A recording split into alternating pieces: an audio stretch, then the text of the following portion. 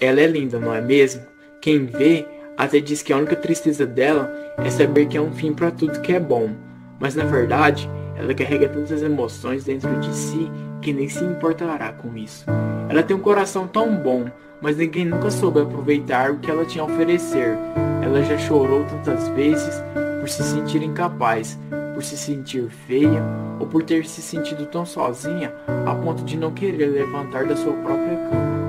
A vida já foi um livro aberto, mas até isso as pessoas conseguiram acabar. Ela aprendeu que pessoas vão e vêm e que ela deve se acostumar com isso. Olha, se você soubesse quanto essa menina aguenta firme cada coisa de ruim que acontece na vida dela, pode ter certeza que a última coisa que você irá fazer é magoá-la.